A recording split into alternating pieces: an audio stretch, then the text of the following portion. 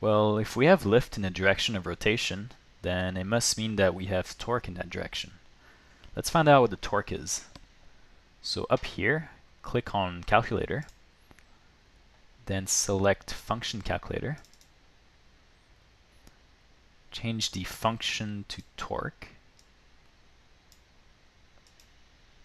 For the location, blade is correct, and the orientation should be about the z-axis and then press calculate.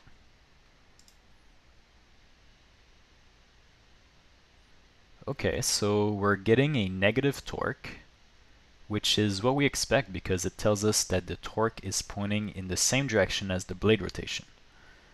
If you want, you can use the right hand rule to prove this to yourself. One very important thing to note about this value is that it's the torque acting from the fluid on one blade only, not three. In the verification and validation section, we will compare this torque value to hand calculations to verify if it makes sense.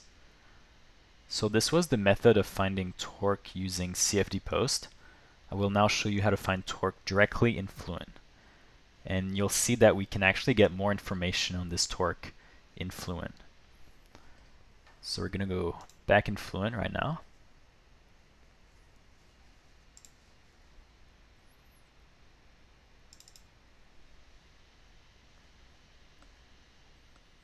So now we're going to click on reports.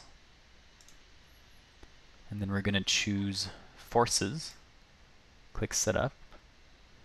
And now we're going to click on moments. The moment center is going to be 0 0 0 and we want this moment to be about the z-axis. So input 1 right here 0 here. And then click print Surprise, we're getting the same torque value. However, Fluent also tells you how much of this torque comes from pressure difference and how much of it comes from viscous forces. Note how viscous forces create a positive torque and therefore goes head to head with the torque coming from the pressure difference. Finally, let's save our project.